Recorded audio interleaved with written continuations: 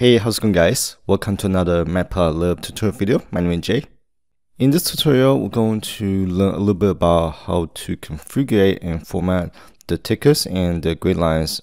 So here's the so here's an example that we'll be doing and within this uh, Matplotlib figure.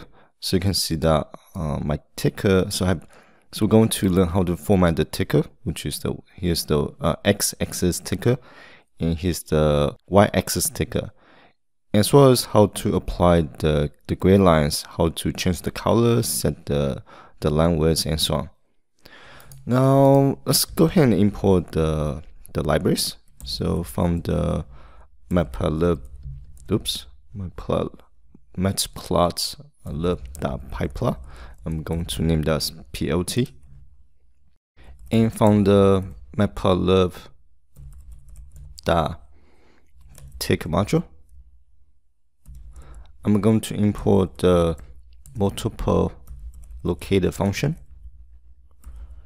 So this function picks axis limit and ticks that are multiple of the base that which I'll be showing in example shortly.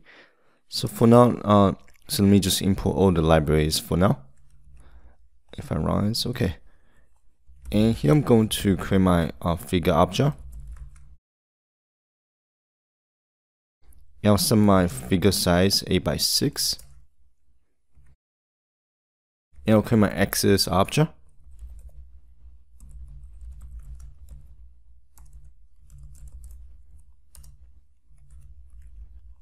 So here I'm going to set my axis uh, range between 0 and 12 for the y-axis and 0 and 10 for the uh, actually 0 and 12 for the x-axis and 0 to 10 for the y-axis. Now if we just graph the, the graph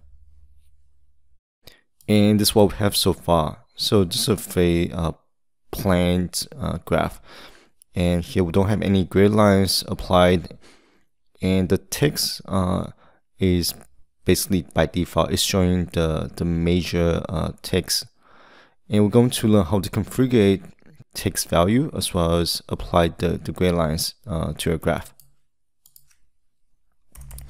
Now to configure the, the text, so here we want to take our want to take our axis object, and for the x-axis you want to call the x-axis uh, property so I'll make a copy and I'll change the, the x to y. So that'll be referencing to the y-axis. And to set the major uh, ticker, so I want to use the set major locator uh, method.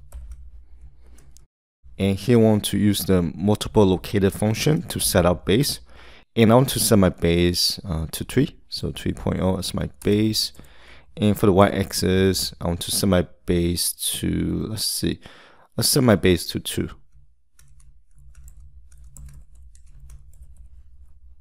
And if I graph the, the graph this time, so here uh, for my major ticker, the, uh, each interval is between um, 3. So 3, 6, 9, 12, which is the, the range of uh, the x-axis and for the y-axis, I set my uh, interval as 2. So between each uh, major ticker value, uh, the difference is 2.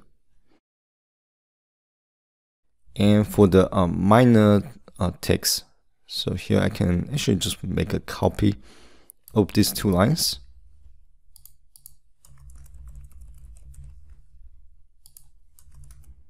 And this will be minor text. I want to replace the, the keyword major to minor. And here we'll follow the same step. So I'll set the base to just uh, 0.2 for both of them. And if I show the graph, so here um, we get the, so here's the major ticker, 2, 4, X, 8, 10, and between uh, each major tickers, inside are our minor tickers. So here between uh, each minor ticker, the value is uh, 0.2. Okay, and that's for the the uh, the text configuration. Now let's go ahead and uh, apply the the grid lines. So to apply the, the grid lines, it's actually pretty easy. So here, let me grab the, uh, the documentation real quick.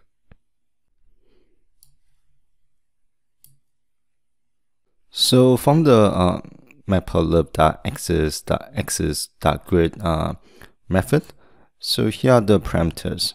Um, so B is the so B is whether you want to show the grid lines uh, or not. So by default, uh, the default is false. And but if want, to, but when you apply any value to the parameter, the default automatically set to two. So actually, let me go back. So the uh, there are actually quite a few uh, parameters and or properties.